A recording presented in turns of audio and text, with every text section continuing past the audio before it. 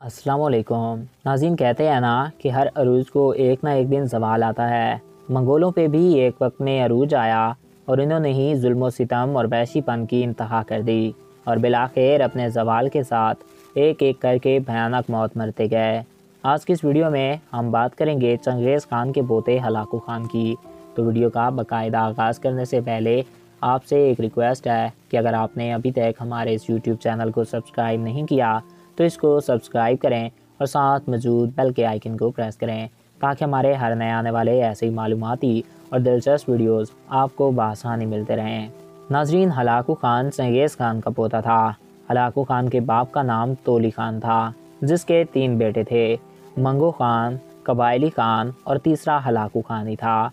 Hulagu Khan के control में जो सल्तनत थी, उसका ज़्यादातर हिस्सा आज के ईरान में आता है। हलाकू खान की पैदाइश सन 1213 में हुई थी, मगर कुछ लोगों के मुताबिक इसकी पैदाइश 15 अक्टूबर 1218 में हुई। ये एक ालिम हुक्मरान था। लोग इसका नाम सुनकर जान की पनाह मांगते थे। मंगोल कौम एक वैशी और ालिम किस्म की कौम थी। ये जहाँ भी हमला करती, इस इलाके के नक्शे को ही बदल देती। इस इलाके के बच्चे, बूढ़े, यहाँ तक कि हैवान और जानवरों को भी कत्ल कर देते। उस इलाके के कल्चर को मुकम्मल तौर पर तबाह करके वहाँ के मुकदस मकाम और मजहबी जगहों को तबाह करना अब इनका पेशा बन चुका था।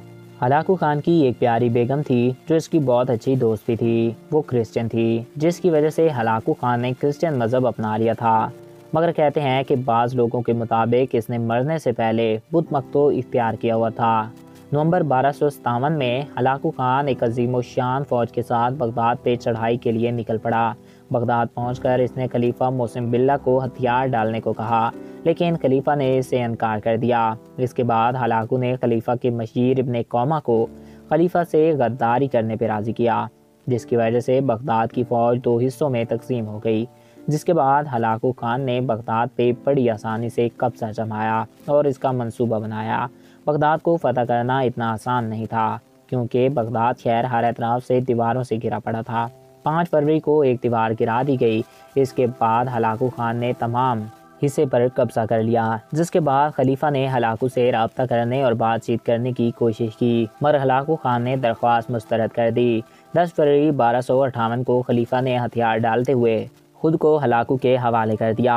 हलाकू खान की फौज तेरह फरवरी को बगदाद में दाखिल हुई तो बगदाद में क़यामत आ गई। हर एतराफ़ लाशें ही लाशें थीं। खून ऐसे बह रहा था जैसे फुरात का पानी। बह रहा हो बगदाद शहर की आधे से जायद फौज को सरेआम फांसी दी गई।